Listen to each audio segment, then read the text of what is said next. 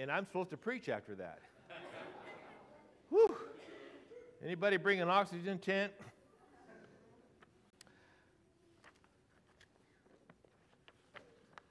What a wonderful God we serve.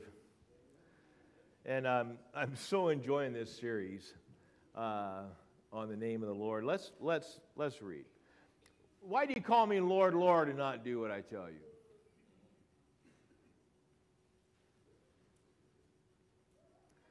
Everyone who comes to me and hears my words and does them, I will show you what he's like. He is like a man building a house who dug deep and laid the foundation on the rock.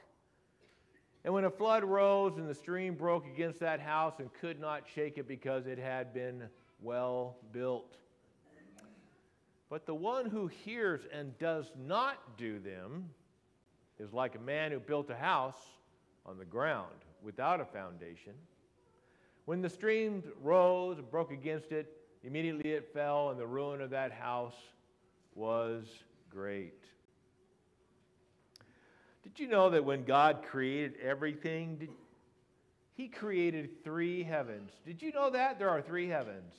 In 2 Corinthians chapter 12 and verse 2, the Apostle Paul mentions that he was caught up to the third heaven.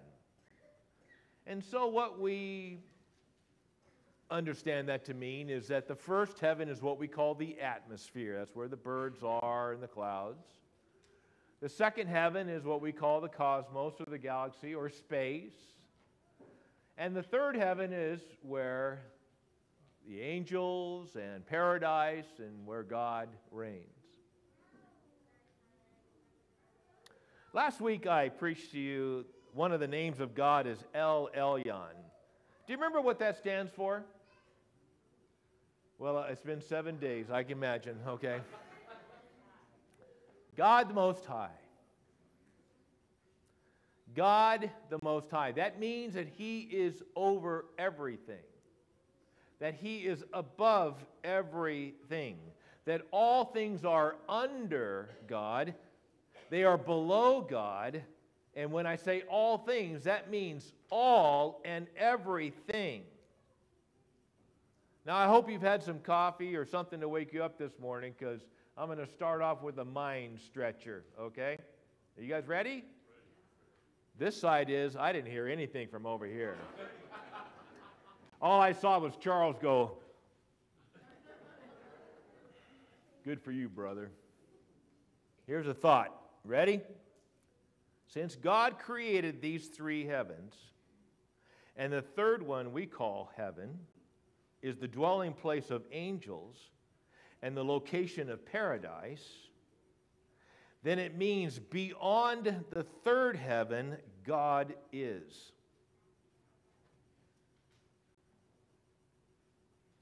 Because God created the third heaven. Therefore, he is beyond what we call heaven.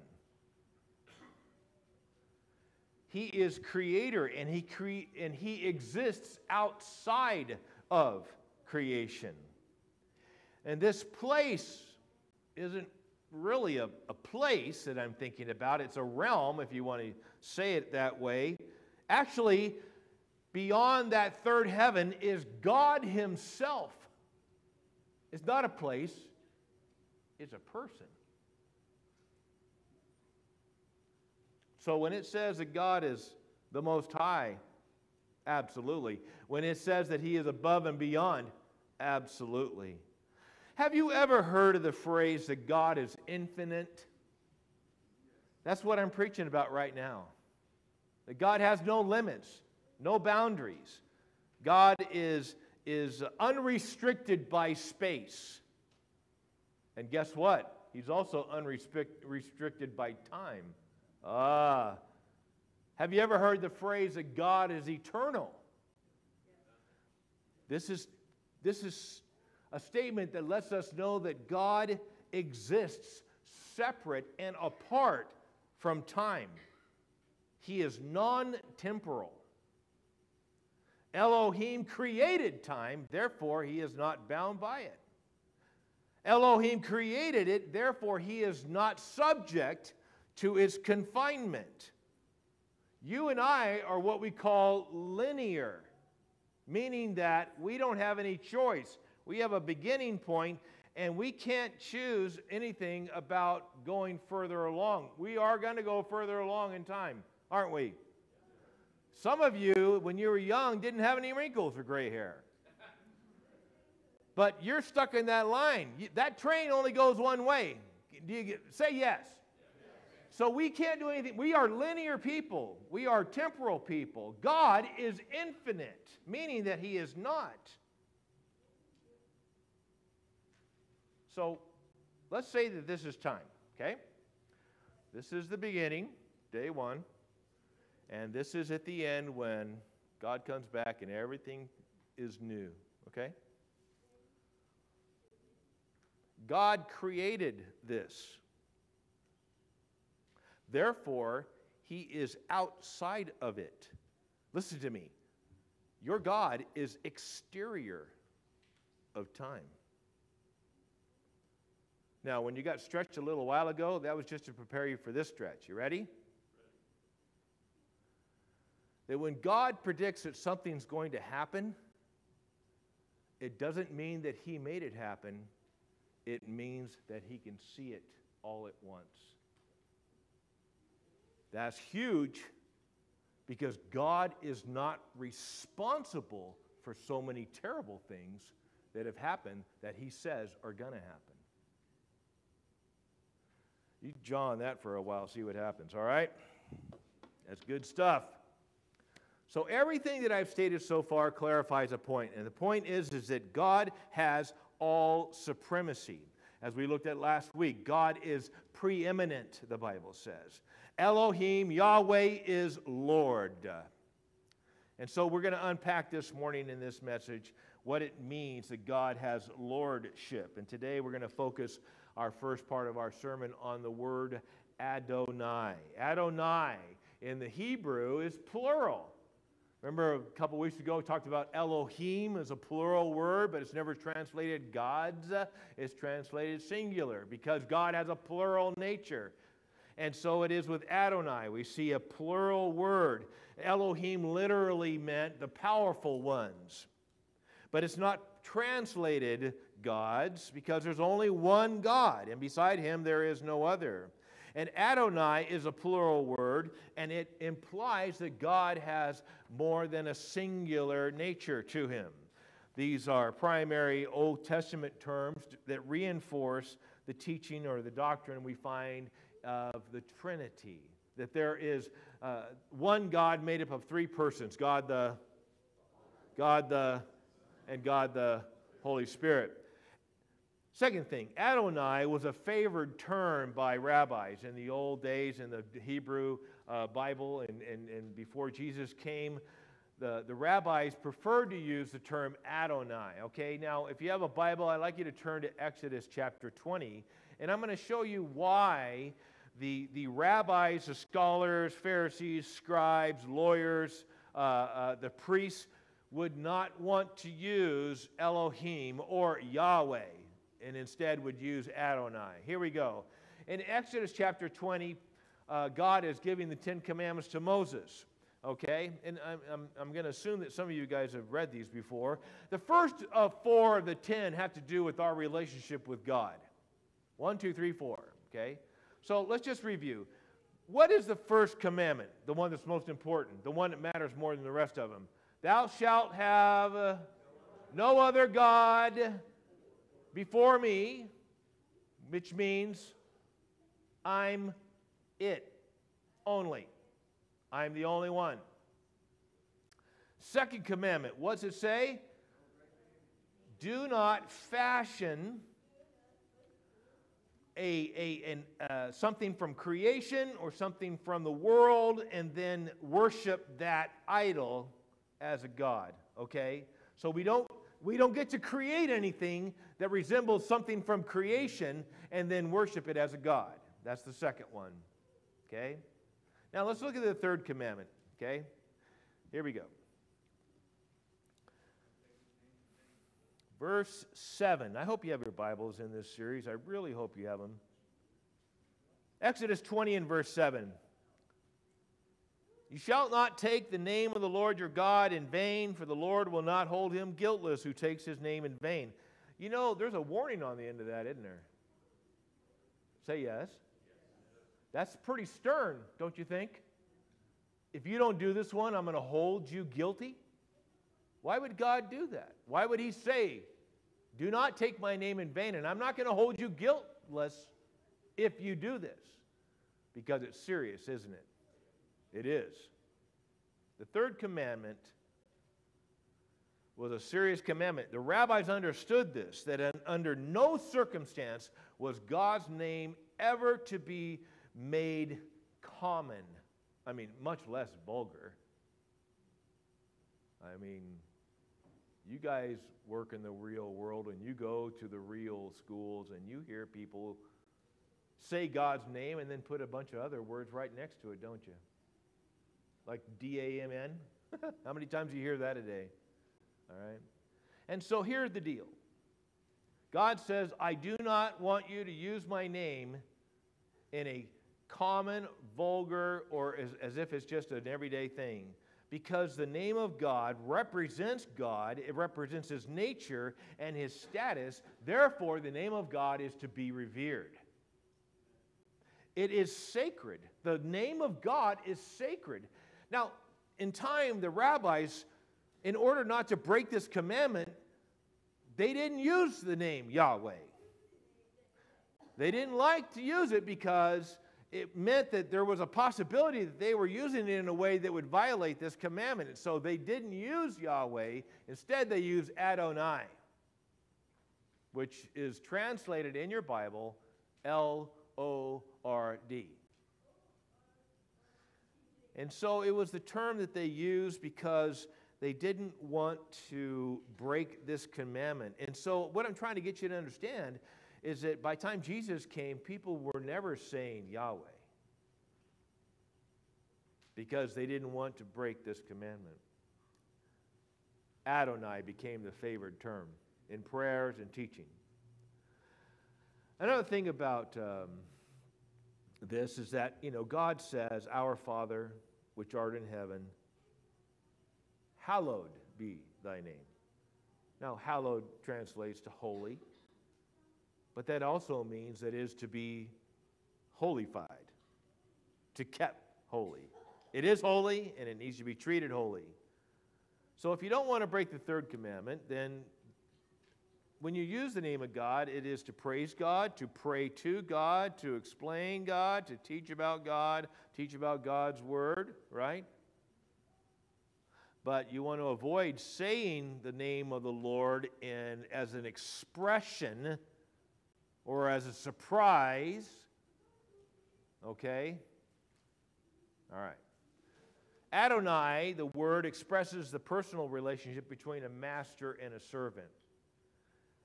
More than ownership, the word implies a functional relationship. Okay? The collaboration doesn't begin with the servant, it begins with the master. The master is responsible for two things one, to provide for the servant's needs food, shelter, clothing. Two, to provide direction. The master is responsible for instruction and training and accountability. Therefore, when the word Adonai is used, the responsibility, the greater responsibility, falls upon God more than on his people. Now, a major mistake that Bible readers make is to assume that the master slave relationships found in Scripture uh, resemble the enslavement of Africans in 19th century United States.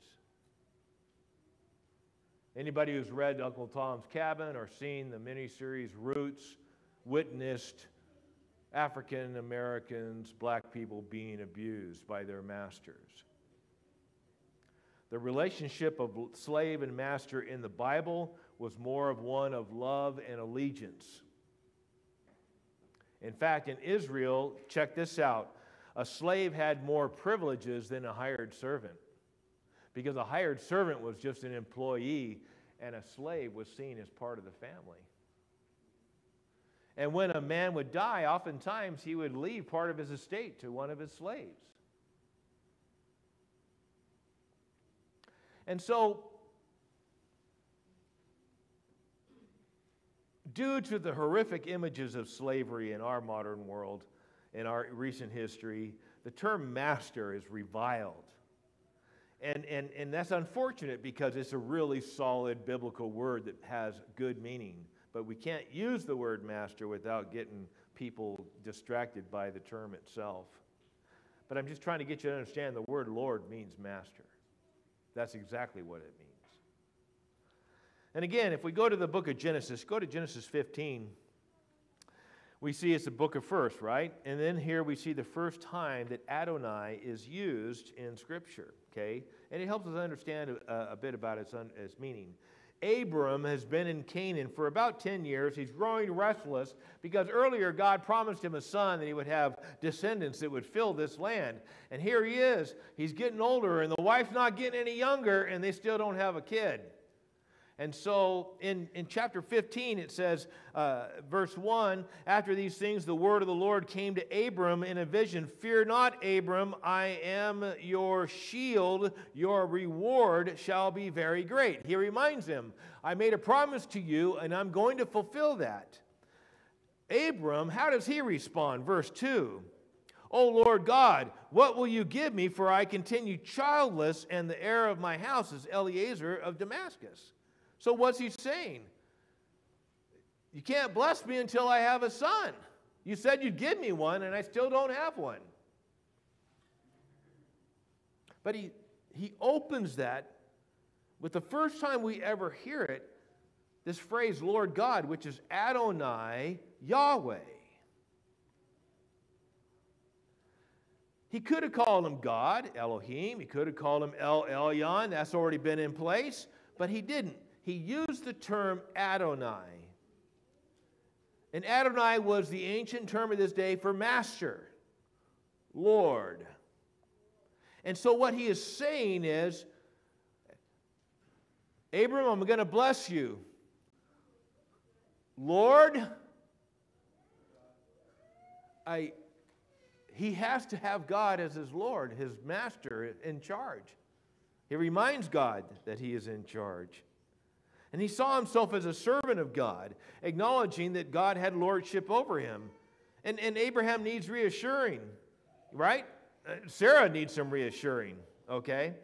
But he understands that God is Lord. And if God says he's going to do a thing, he's going to do it. And if it takes the Lord a while to get it done, that's his prerogative. Now, we in America don't like that. We don't like somebody giving us a promise and then not delivering it on our time schedule. Well, even Abraham struggled with that, and he had to remind himself, I'm not the one in charge here. Lord, how can you help me? I'm childless. And all the great leaders in the Old Testament revered God as their master. They, held, they knew that God had mastery over them, authority over them. Moses was really troubled when God told him from the burning bush, I want you to go to the most powerful man on the planet and tell him to let all my people go. You know, and do you remember what he said? I got a speech impediment. I, that's what he said. I don't talk good. I don't know how exactly he said that in the Hebrew, but that's what the meaning was. Well, actually, it says in chapter 4 and verse 10 of Exodus, Oh my Lord, Adonai. I am not eloquent, neither in the past or since you have spoken to your servant, but I am slow of speech and tongue. So God says, I want you to do this, and He says, I, you're picking the wrong guy. Hmm. You, you've never done that, have you?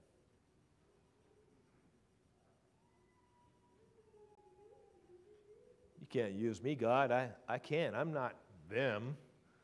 I'm just this. so let me let me ask you, family, why did Moses go to Pharaoh with nothing but a rod from God? Because Yahweh is Adonai. Why did Joshua lead Israel into the conquest of the promised land? Because Adonai is Lord and he was not. Why did Gideon take on Midian when he was outnumbered because Adonai is Lord and he was not. And why did Jeremiah continue to preach even though he was mistreated, persecuted, ridiculed, and rejected? And he continued to say what God told him to say, and he never stopped doing that. And as far as we know, not a single person in Israel was converted by his preaching. 50 years without a convert. I guess we better get that, huh? Why did he preach for 50 years and all he got was kickback and no and rejected? They threw him in a pit. Because Adonai was Lord and he was not. That's why. In the New Testament, one of the most common phrases you're going to find is Jesus is Lord. The New Testament word in Koine Greek for Adonai, which is a Hebrew word, is Kyrios. Kyrios is defined as a master, a ruler, basically the person in charge. Kyrios is the New Testament word for L O R D. Interesting that a majority, uh, majority of the books in the New Testament that use the term Kyrios about Christ are done by Luke and by Paul. And the reason why that stands out is because Luke and Paul were addressing their book uh, and their writings to Greeks. And Kyrios is a Greek term that they absolutely, totally knew. The Greeks understood authority, and Kyrios was somebody who was in charge. And in time, the church preferred the term Kyrios or Lord over any other term for Christ. After Christ was resurrected and he was exalted by the Father, and the Father gave him a name that's above every name, the church exalted the name of Christ and they referred to him as Lord. When, when Jesus appeared to Thomas in resurrected form and he told Thomas, Put your finger in the hole of my, and put your hand in the slit of my side, and stop doubting and believe, what was the confession? What was the profession that the Apostle Thomas said right straight to Jesus' face. My Lord and my God. You see, Lord is the preferred term for Christ in the church age. Here's the proof. In the book of Acts, Jesus is referred to as Savior twice in the book of Acts, Jesus is referred to as Lord 95 times. Now, where's the weight? You see, they were already saved by the Savior, right? But who was Jesus to them right then and there? The Lord. Meaning, He's the one who's in charge, He's the one that rules, He's the one who gets His way. And in modern times, it seems like people, even people who are going to houses of worship and they're sitting in church buildings and they're proclaiming faith in God, they just love Jesus as Savior. Amen. John 3 16, love it. Love that cross. Love that cross. Why? Because I'm saved by the cross. And I love that Jesus is my Savior. In fact, we make this even more personal when we say, He's my personal Savior. Yeah, you can have your personal Savior, you can have yours, but I have my personal Savior. He died for me. And we love that in America. You know why? Because I get to go to heaven because he died for me. But you know what else Jesus is besides your Savior? He's your Lord, which means that if He says you can do a thing, you can do it. And if He does not give you permission, you cannot do a thing. Why do you call me Lord and not do what I say? Is that not what the scriptures read earlier? That's Jesus is Lord. You want to know why the church converted the most pagan, brutal empire of its day? Because Jesus is Lord and they were not. And he said, Go into all the world and make disciples. Did they go into the world make disciples? Why? Because Jesus said right before that, all authority on heaven and on earth has been given to me. He pulled rank and told them what to do. You know, that's what happens some of you people work in management, right? You walk into your department and you have to remind them what your title is and how long you've been there and who you work, and, and then you have to tell them what to do. Because if you just go in there and tell them what to do, they're like, and so he goes, All authority in heaven and on earth has been given to me, therefore go. That's the commandment. Go. While you're going, make disciples. What do you do with disciples? People that want to be a disciple. What do you do with them? You baptize them in the name of the Father, Son, and the Holy Spirit, and then you what? Teach them to obey everything that Jesus has commanded. And did the early church do that?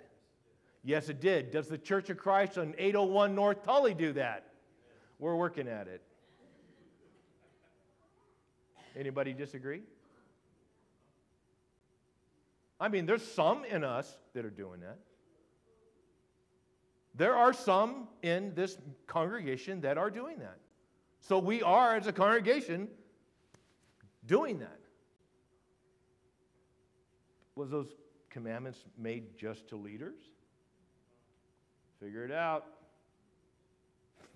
The early church didn't think so because everybody got busy doing that. Not only did they teach them the gospel and baptize them, then they taught them how to stay with it and do what God says because Jesus is Lord. Amen?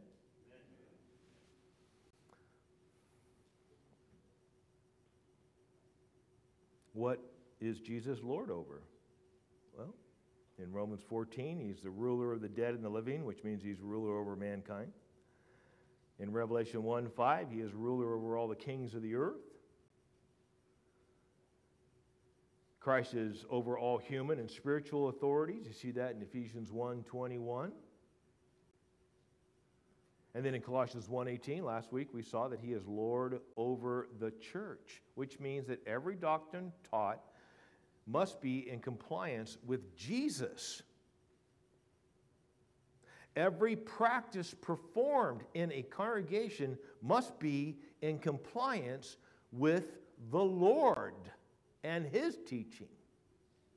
We don't have permission to ignore parts that we don't like anymore. We don't have the option of opting out of some of the hard teachings in the New Testament that go against our cultural norms. We also don't have the option to add to God's will, written word, what we want it to say or you want to hold over other people. We don't have that either. You know why? Because Jesus is Lord and we are not. There is not a group of people on planet Earth that have the authority to take away or add to this Bible. Amen. Why? Because Jesus is Lord. When he came here, he said, I didn't come here to judge the earth, I came here to save it. But there is a judge. The very words which I have spoke will judge a person on that day. So we don't get to change that because he is Lord and we are not. There's, there's really only one place in the universe where Jesus does not rule as Lord. There's one place where he is not master, where he's not in charge, and, and that's the human heart. Especially American hearts. We resist authority, we resist anybody telling us what to do. And the only way that Jesus is your Lord is because you have chosen him to be the Lord of your life. You've made that decision. The only way that Jesus is your Lord is because you have surrendered your will to his and you have submitted yourself to him. And the only way that Jesus can be your Lord is that you have confessed him to be the Lord. Right? What's it say? God's purpose, ultimate purpose for mankind is that every knee shall bow to him and every tongue confess that Jesus Christ is Lord to the glory of God the Father. That doesn't mean just at the end of time. That means today, friend. Today. Is Jesus Lord of your life? Only you know that. Is he Lord of your life automatically? Nope. You have to make your decision.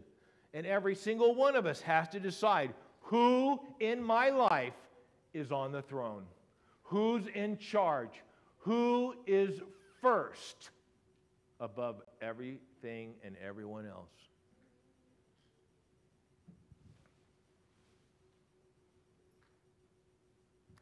The only way that Jesus will remain your Lord is if you obey his will and continue to. Why do you call me Lord, Lord, when you don't do what I say?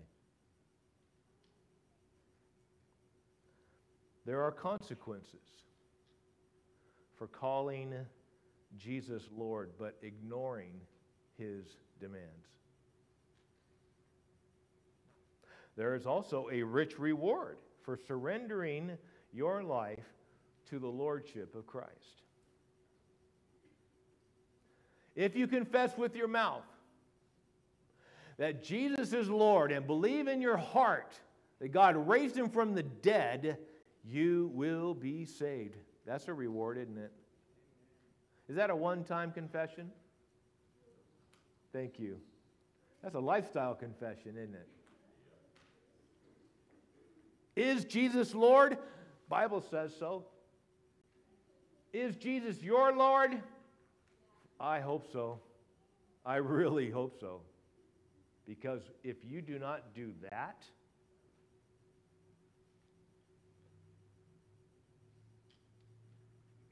everything else in your life doesn't matter.